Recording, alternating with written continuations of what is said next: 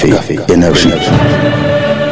Cafe Energy ni ikiganiro kigufasha kuba icyitegererezo mu guhamya intego z'icyerekezo ku murimo cafe energy yubakira ku mateka y'ababaye indashyikirwa mu bikorwa byabo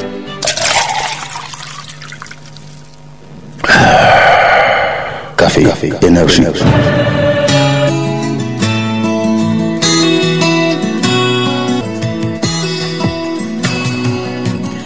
Igitondo cyiza kuri mwe mwese mukomeje guhitamo kumva energy radio radiyo icyitegererezo. Ndabaramukije aho muri hose mu gihugu aho muherereye mu bice bitandukanye by'igihugu haba harimo kutwumvira kuri mirongo inani n'umunani n'ibice umunani fm abarimo kutwumvira kuri mirongo icyenda n'ibice bitatu ndetse n'abarimo kutwumvira ku ijana na karindwi n'ibice bitatu. Cyane cyane namwe muri kutwumva muri nko mu kazi muri mu biro cyangwa se ahandi hantu hatari kumvikana fm ukaba ushobora gushyira kuri murandasi aho wandika wa eshatu akadomo energy akadomo rwa. Mwese mwese ndabasuhuje mbayambira cyane rwose mwaramukanya amahoro. Amateka yawe haba mu kazi haba mu iyobokamana haba mu byo ukora cyangwa uteganya gukora haba hehe na hehe kugira ngo uyagire bisaba kuyubaka. Ntabwo amateka yizana nta kintu kizaranga amateka yawe utarakigizemo uruhare ngo ucyubake cyangwa se ngo wubake ayo mateka. Uyu munsi ufite bizinesi ikomeye kandi imaze igihe kitari gitoya rwose ikora iranakora neza cyane ariko abayibarizwamo bameze nk'abubakiye ku mababi cyangwa se ku, itapi cyangwa se ku musenyi cyangwa se ku mucanga kubera ko eh, iyo urimo kugaragaza amavu n'amavuko y'iyo kampani cyangwa se urimo kugaragaza kampani hari ibyo uca hejuru.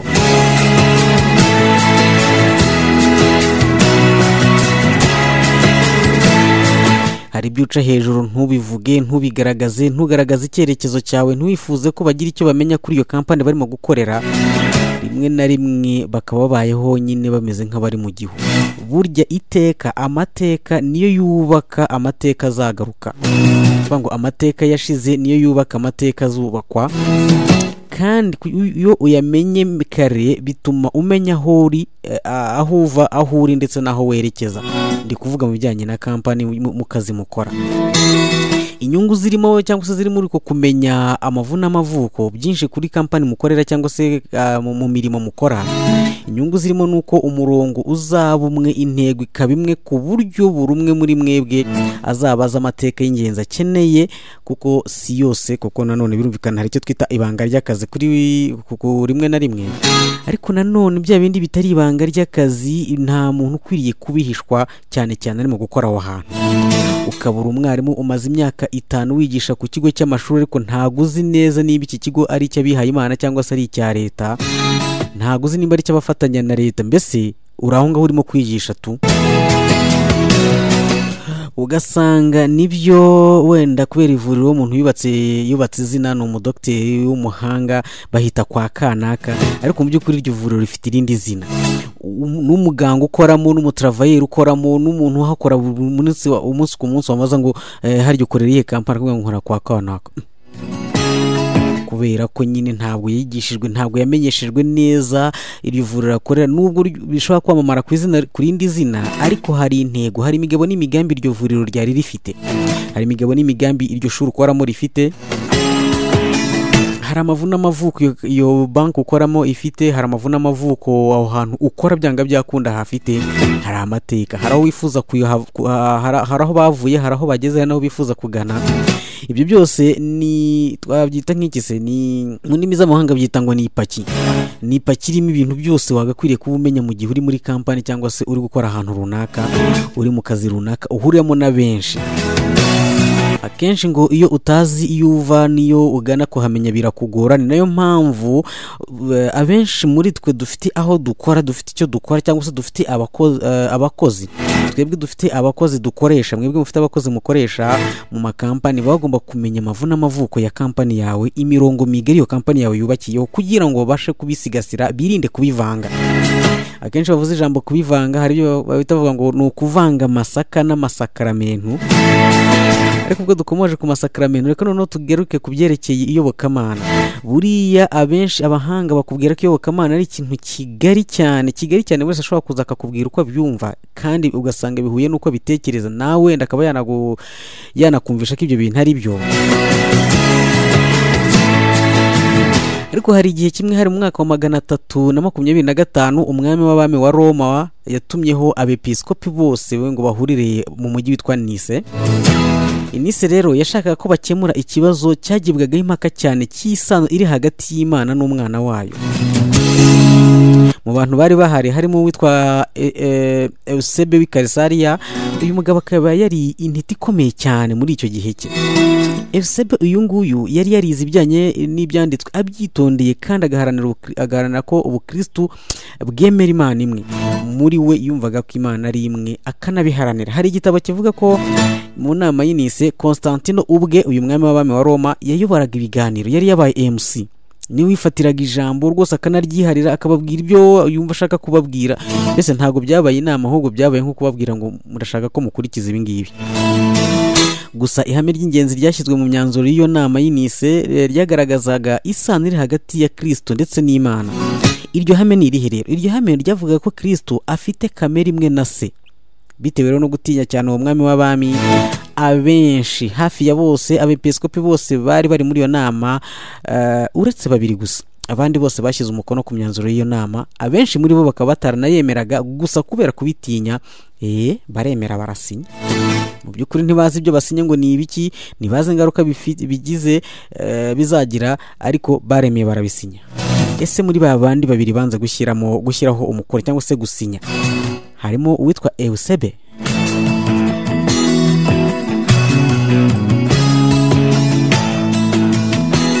Nibyo rwose uyu eusebe yari arimo muri abo babiri banze kubisinya avuga ati ngewe uko nguko mbyemera kandi niba mudashaka kumva ko eh, ni- niba mushaka kumva ko ari uko nguko tugomba kubyemera twakagombye no kubanza kubikora ubushakashatsi tukamenya aho tuva aho turi n'aho twerekeza. Mbese aho kugira ngo mbisinye ntabizi reka mbanze njye kubyiyigira. Mbanze njye gukora ubwanjye bushakashatsi. Ibi byagize ingaruka kuri kiliziya gatolika kubera ko nyuma y'uko eusebe yanze gusinya kuri aya masezerano habaye icyo twakwita eh, gucukumbura bushyashya. Eusebe o, w'i karizariya uyu ni bishop muri kiliziya gatolika yari umwanditsi ukomeye cyane wabayeho wanditse amateka adasanzwe atarigeze avugwaho n'uwo ari we wese. Nyuma yo kubona ibibaye aho ngaho yiyemeje kujya gucukumbura asanga hari andi mateka atarigeze avugwaho n'uwo ari we wese. Uyu mugabo ntabwo ahantu yavukiye hazwi neza ariko bivugwa ko ashobora kuba yaravukiye muri palestine ahagana mu mwaka wa magana abiri na mirongo itandatu na gatanu mu mwaka wa magana abiri na mirongo itandatu na gatanu. Ubusepe rero ngo akiri mutoya yifatanyije n'uwitwaga pamphile nawe yari umuhanga muri kiliziya gatolika wari uhagarariye kiliziya y'i kayizariya uyu eusebe yize ishuri rya teolojiya rya pamphile. Pamphile uyu nguyu yari nk'uko bakunda tuvuga ngo abapadiri bafite ahantu bajya kwigisha abana mu kibeho. Sinzi mbere bakibyita simbyibuka neza. Nibuka ko kera bajyaga bavuga ngo ni ukwiga mu kibeho. Uyu rero eusebe yize mu ishuri rya teolojiya rya pamphile aza kuba umunyeshuri rwose ushishikaye ukunda gusoma ibitabo byinshi kandi byiza byabaga byaranditswe na uwe- ubwe yari yaritangiye amasomo ye pe. Kwa kundi uvuga ngo uyu mwungiye gukurikirana inyigisho ze. Ariko cyane cyane akagira umwete wo kwiga bibiliya yanabaye inshuti magara ya pamphile ku buryo nyuma yaho yaje kwiyita eusebe umuhungu wa pamphile. Eusebe rero yavuze ibyo yateganyaga kwandika n'ukuntu intumwa za kera zakurikiranye eh, kimwe n'uko ibihe byagiye bikurikirana kuva ku munsi umwami n'umukiza kuva- ku munsi umwami n'umukiza kugeza mu gihe bari barimo. Yavuze ko azasobanura ukuntu ibintu byinshi kandi by'ingenzi bavuga ko byabaye mu mateka ya kiliziya uburyo byagiye bigenda ndetse aniyemeza kuvuga abayoboye kiliziya mu maparuwasi akomeye kurusha abandi abagize uruhare mu gutangaza ijambo ry'imana haba mu magambo cyangwa se mu nyandiko. Mbese yari umuzingo ibyo bita ngo ni umuzingo wuzuye buri kimwe cyose.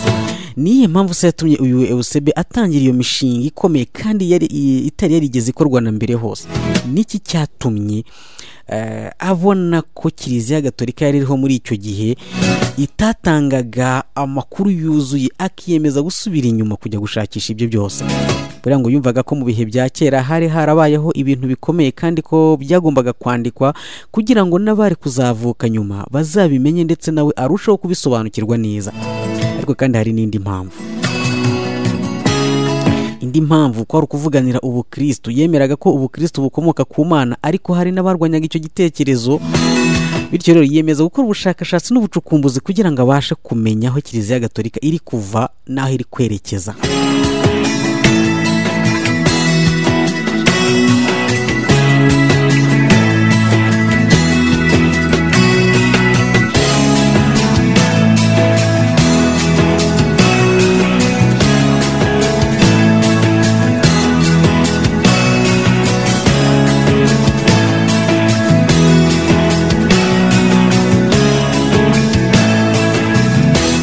Inyandiko z'uyu mugabo Eusebe ni inyandiko zigaragaza inkuru z'ibintu by'ingenzi byagiye bibaho. Izo nkuru yazivanye ku bantu bari babizi neza.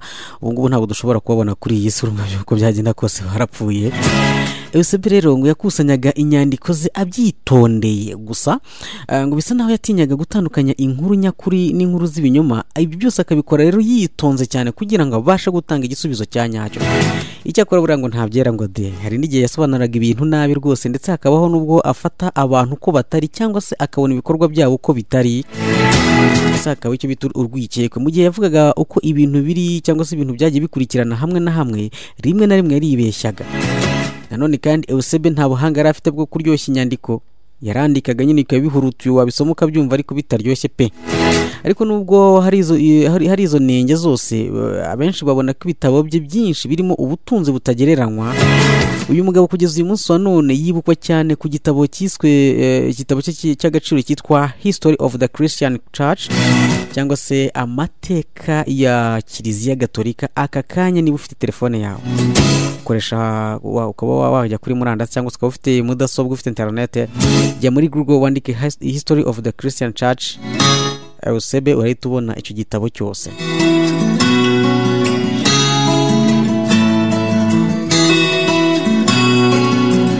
Nubwo abantu benshi bizeye biri muri iki gitabo ntabwo ari ihame ijana ku ijana kubera ko ntabwo byaturutse ku mana cyangwa se byaturutse mu ijuru. Ntabwo ari ubutumwa yahawe n'ubushakashatsi yikoreye. Yega abantu benshi barabikunze ariko ntabwo ari ihame ijana ku ijana ko ari byo bigomba gukurikizwa. Ahubwo nuko ibyo yanditsemo we ari we wagize umutima wo kubyandika kandi akaba yarabikoreye ubushakashatsi. Kwa kundi ukora ikintu ukavuga uti ntabwo nje guhindura ibihari ariko reka nkore ubushakashatsi mbagaragarize uko ibintu byakagombye kuba bimeze.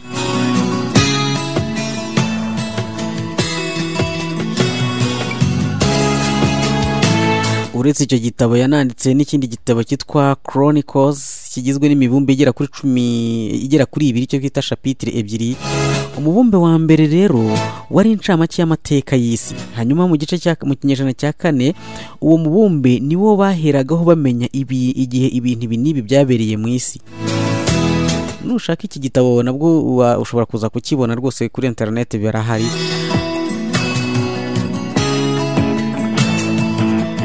Mu gihe umubumbe wa kabiri w'iki gitabo wowe wavugaga amatariki y'ibyabaye mu mateka. Eee bakakubwira ngo intumwa kanaka yabaye iki n'iki? Akagerageza gukora ubushakashatsi yerekana itariki amatariki ibintu byagiye biberaho ibyo bintu. Kwa kundi dusoma ngo yesu kirisito ngo yagiye ngo ku musozi ngo arasenga ngo ngo bigenda gutya na gutya. We yakoraga ubushakashatsi kugira ngo amenye ngo byari ku itariki zingahe.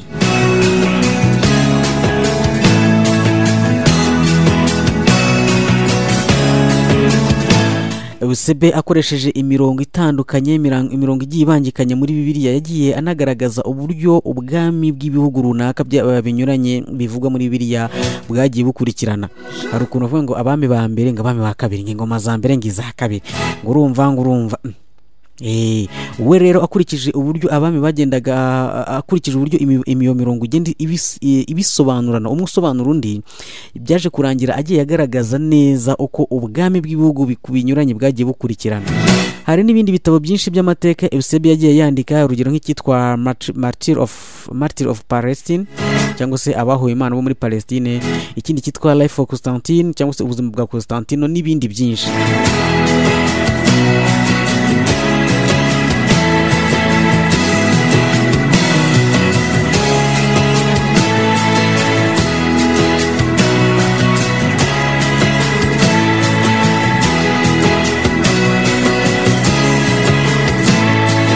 Iki gitabo cya mbere the martyr, the martyr of palestine ni igitabo kivuga nyine abahowe imana bo muri palestine. Icya mbere iki gitabo kikivuga kivuga ibintu byabaye mu mwaka wa magana atatu na gatatu kugeza muri magana atatu na cumi. Muri iki gihe cyacu hagendewe kuri kalendari y'uwitwa julius. Kandi kikanavuga uko abahowe imana eh, babikorewe muri icyo gihe. Eusebe ashobora kuba yariboneye ibyo bintu n'amaso ariko igitabo cya kabiri cyasohotse gikubiyemo ibitabo bine nyuma y'urupfu rw'umwami w'abami constantino eh, mu mwaka wa magana atatu na mirongo itatu na karindwi muri iki gihe turimo cyangwa se nyuma ya yesu.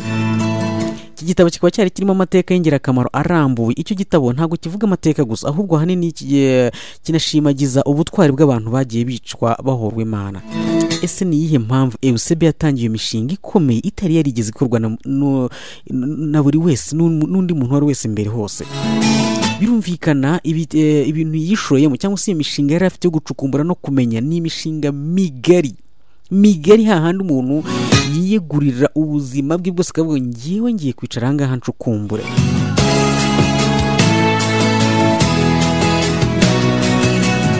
Wibuke tugitangira nakubwiye ni nyamuneka niba wubakiye ubucuruzi bwawe niba wubakiye bizinesi yawe cyangwa se ahantu ukora ukaba nta makuru hafite umeze nk'aho uhagaze ku mucanga mu kanya gato amazi aje agakuraho uwo mucanga wasigara uhagaze ahantu utari witeze kuba uhagaze. Niyo mpamvu uyu eusebe yafashe umwanzuro avuga ngo ubwo kiliziya gatolika irimo gukora ibintu muri ubu buryo ariko si ubundi niko byakagombye kugenda. Ese na mbere hose niko byari bimeze? Ese niki nakora kugira ngo nibura mbashe kumenya amateka amavu n'amavuko aho kiliziya iva aho iri uyu munsi n'aho ishobora kuzagana mu myaka iri imbere? Umushinga wo kwandika ku mateka adasanzwe y'ibyabayeho ariko akibanda ku mateka ya kiliziya gatolika impamvu y'ukuri bimuteye ubwe nawe ubwe avuga ko yayiyemeje sinzi ukuntu bivuge avuga ko birashoboka ko haba harabayeho ako twakwita nk'akayeye cyangwa se nk'igihu sinzi niba ubundi bubyita inzibacyuho kubera ko hari ibyabaye mu gihe batari bahari. Ariko mu gihe bazi hari ah, byanga byakunda hashobora kuba hari ikintu cyaba cyara we yatekerezaga ko hari ikintu cyaba cyarabayeho kigasa nk'icyitambika neza amateka bigatuma wenda umurongo utangira kutabaho. Bityo rero icyo kintu afata nk'igihe cy'inzibacyuho hagati y'igihe cya kera n'igihe gishyashya ni cyo yashakaga gucukumbura ngo amenye ni ibiki by'ukuri byabaye. Yumvaga ko mu bihe bya kera hari harabayeho ibintu bikomeye kandi byagombaga kwandikwa kugira ngo n'abari kuzavuka nyuma bazabimenye. Ariko nanone hari indi mpamvu esebe yari afite ikaba ari na yo ari na yo twavuga ngo yari inkuru nyamukuru yari intego yo kuvuganira ubukristo yemeraga ko ubukristo bukomoka ku mana ariko kandi wibuke hari abarwanyaga icyo gitekerezo.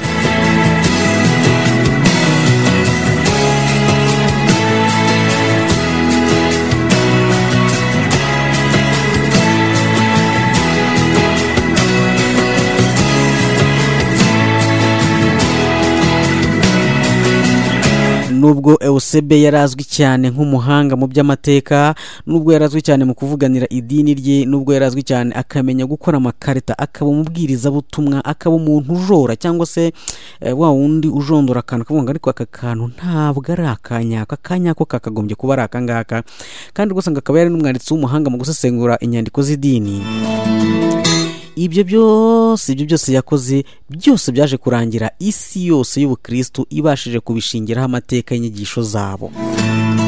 Ni igikorwa cyiza cyane kandi cy'ubutwari kuko bigoye kugenda ahantu utazi.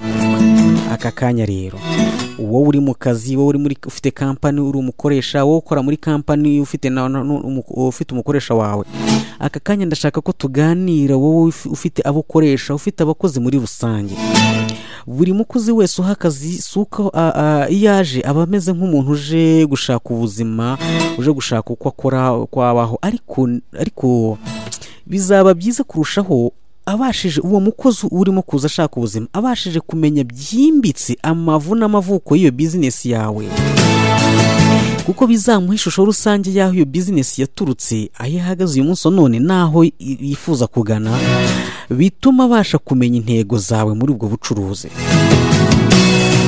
Ibi ubyumve ko ubyumve nko kuba uri umuntu eh, si- sinzi kera twiga muri pirimeri mu byo bitaga STE siyanse tekinoloji elementaire cyangwa se ubumenyi n'ikoranabuhanga buciriritse. Kera twiga hari agakoresho kitwaga busore bajyaga batwereka akaranga amerekezo y'isi. Ibi ngibi rero ubyumve nko kuba uri umuntu uri mu rugendo ahantu atazi ukaba wibagiwe cyangwa se wanze gutwara nkana ikarita ndangamerekezo mu gihe kandi uri kugana ahantu utazi. Birashoboka ko wagerayo ukageraho wananiwe kubera ko waciye inzira itari yo birashoboka ko wagerayo nabi rwose wanakomeretse kandi hari inzira nziza. Wibuke rwose agakoresho kitwa busore gafasha abantu kumenya ahantu berekeza. Ubi- ubifate nk'aho kumenya aho uva kumenya amavu n'amavuko y'ibyo urimo y'ibyo werekezamo y'ibyo urimo ufitemo imbaraga ufite ushoramo gushoramo amafaranga bizagufasha kubaka bizinesi yawe. Ese abo mukorana bazi intego zawe muri iyo bizinesi ese abo ukoresha bazi icyerekezo cya bizinesi yawe? Abo ukoresha basobanukiwe amateka amavu n'amavuko by'iyo bizinesi barimo gukora? Uko ukomeza kuba umuntu utegeka cyangwa se utanga amabwiriza gusa burya bizagira igihe ibyo utegeka bikorwa nk'itegeko n'ababikora babyumve ko barimo gukora itegeko usange bari gukora akazi nko kurangiza umuhango. Nyamara iyo buri wese uza kumucira ku mayange y'impamvu urimo kubategeka gukora ibyo bintu byari kugufasha kurushaho.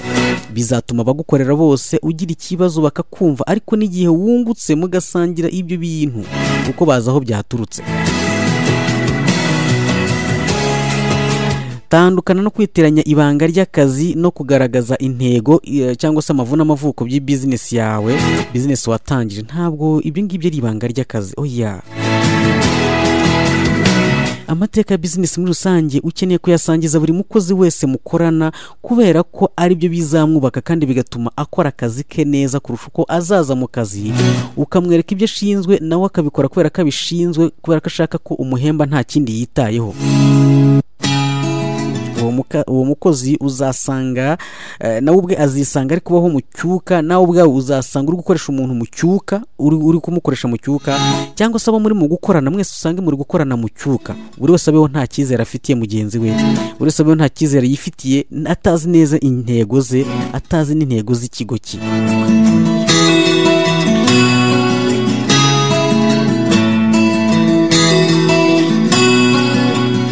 Ibyo eusebe yakoze nyuma y'inama y'inise rwose byatumye isi ya none y'ubukristu ibasha kubishingira mu bijyanye n'amateka y'inyigisho zabo kubera ko yagiye agerageza kugaragaza amatariki kugaragaza ibintu bigiye byabereye kugaragaza aho kiliziya gatolika yari yakomotse aho iri n'aho yerekeza ibi ngibi ubifate nk'uko nawe udashobora kujya mu murima ngo uhere umutwe uhera hepfo ukaza guharurira mu ruharuriro kubera ko wamaze kumenya imiterere y'umurima wawe. Nitwa nkindi patrick reka nkushimire mu kiganiro kafeneje ikiganiro cyubakira ku mateka y'abantu babaye ndashyirwa mu bikorwa bakoze bikadufasha guhamya intego z'icyerekezo ku mirimo yacu cyangwa se mu mibereho yacu. Reka tuzasubire ku munsi w'ejo. Bayi Énergie. ikiganiro kafe energy ni ingarukamunsi kuva ku wa mbere kugera ku wa gatanu guhera isaa kumi n'ebyiri n'igice kugeza isaa moya za mu gitondo. Ni kuri energy fm mirongo inani n'umunani n'ibice umunani radiyo y'icyitegererezo